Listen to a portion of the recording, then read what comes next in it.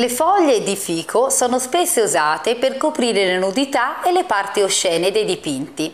È avvenuto anche agli affreschi di Masaccio, la cacciata del paradiso terrestre, dove delle foglie di fico coprono le figure di Adamo e di Eva, rimosse solamente nel restauro del 1990. La cacciata dei progenitori è uno degli affreschi della Cappella Brancacci. Essi furono la scuola del mondo e furono ampiamente copiati. La cacciata, ad esempio, fu copiata da Jacopo della Quercia, da Michelangelo e anche da Raffaello. La Cappella Brancacci è uno dei più elevati esempi dell'arte del Rinascimento. Essa si trova all'interno della Chiesa del Carmine a Firenze.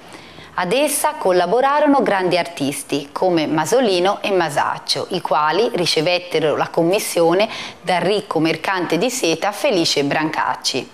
Masolino avviò i lavori nel 1424, ma li interruppe nel 1425, quando partì per l'Ungheria.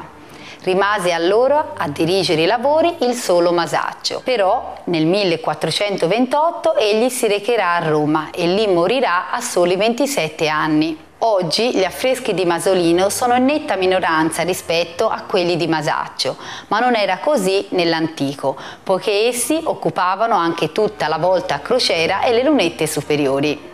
Chiudeva probabilmente il ciclo sulle storie della vita di San Pietro, il protettore della famiglia Brancacci, il rilievo sull'altare con la consegna delle chiavi di Donatello, oggi al Victoria ed Albert Museum, scena fondamentale per la chiusura delle storie e del discorso sull'autorità di Pietro nella Chiesa. Masolino e Masaccio lavorarono separatamente a scene diverse, pianificando accuratamente i loro interventi, in modo da poter operare con contemporaneamente. Gli affreschi rimasero incompiuti anche per l'esilio della famiglia Brancacci a causa del suo schierarsi con il partito avverso a Cosimo de' Medici.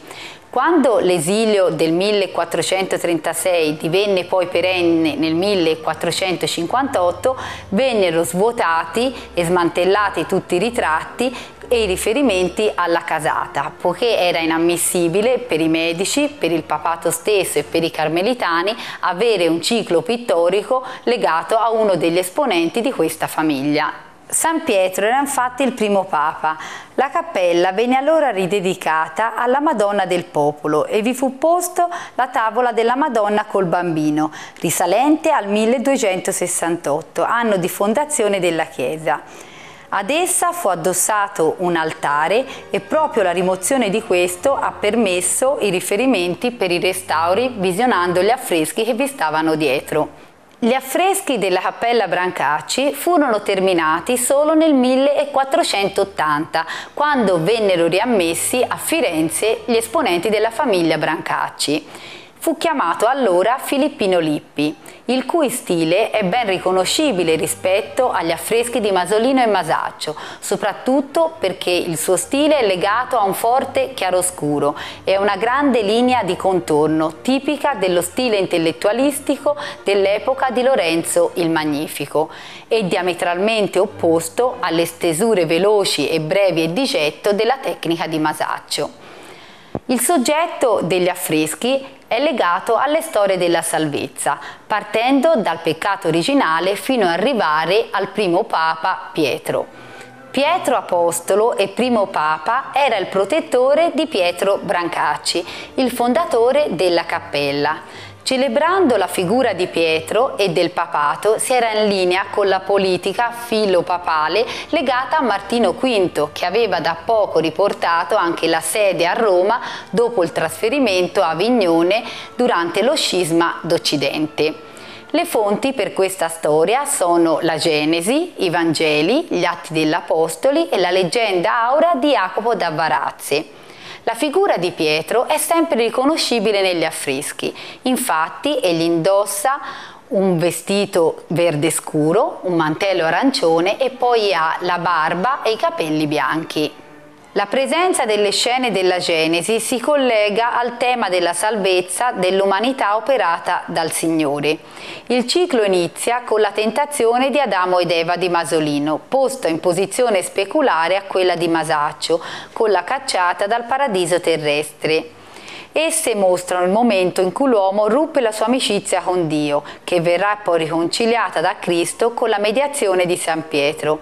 Eva sta per addentare il frutto proibito che il serpente le ha appena offerto dall'albero. La scena è aulica impostata nei gesti, legata al clima cortese del tardo gotico. La luce è morbida e avvolgente e fa risaltare la sensuale plasticità delle figure, lasciandole però come sospese nello spazio.